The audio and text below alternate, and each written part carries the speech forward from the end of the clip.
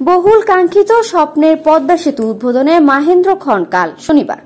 এদিন প্রধানমন্ত্রী শেখ হাসিনা আড়ম্বর অনুষ্ঠানের মধ্য দিয়ে এই সেতুর উদ্বোধন ঘোষণা করবেন। ইতিমধ্যে উদ্বোধনী অনুষ্ঠানের সকল প্রস্তুতি সম্পন্ন করা হয়েছে। পদ্মা সেতু উদ্বোধনকে ঘিরে যে কোনো অপ্রীতিকর ঘটনা এড়াতে নিরাপত্তার চাদরে ঢেকে দেওয়া হয়েছে পুরো এলাকা।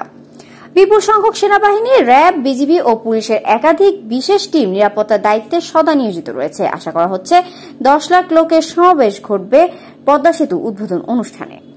পরের দিন ছাব্বিশে জুন থেকে নয় দশমিক আট তিন কিলোমিটার দীর্ঘ সেতুতে জনসাধারণের চলাচলের জন্য উন্মুক্ত করে দেওয়া হবে।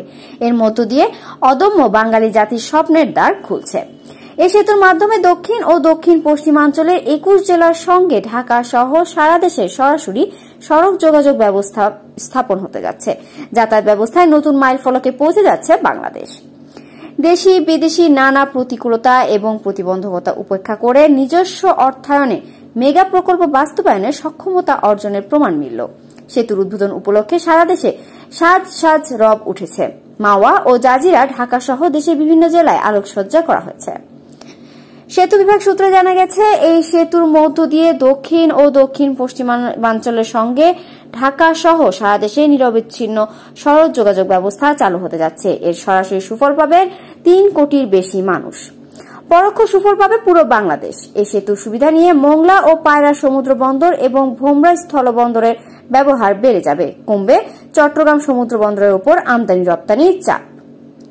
ঢাকার সঙ্গে দক্ষিণাঞ্চলে যাতায়াতের সময় অন্তত দুই থেকে চার ঘণ্টা কমে যাবে। ঢাকা থেকে ফরিদপুরের ভাঙ্গা পর্যন্ত এক ঘন্টায় যাতায়াত করা যাবে। এই সেতুর কারণে দক্ষিণাঞ্চলের জেলাগুলোতে নতুন নতুন শিল্প কারখানা গড়ে উঠেছে। উন্মুক্ত হচ্ছে পর্যটনের নতুন দুয়ার।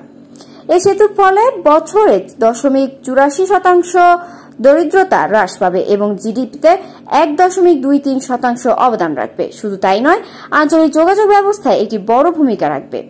এশিয়ান হাইওয়েতে এক তামাবিল সিলেট ঢাকা পদ্মা সেতু, যশোর, বেনাপোল। সরাসরি যুক্তের মাধ্যমেও এই সেতুটি।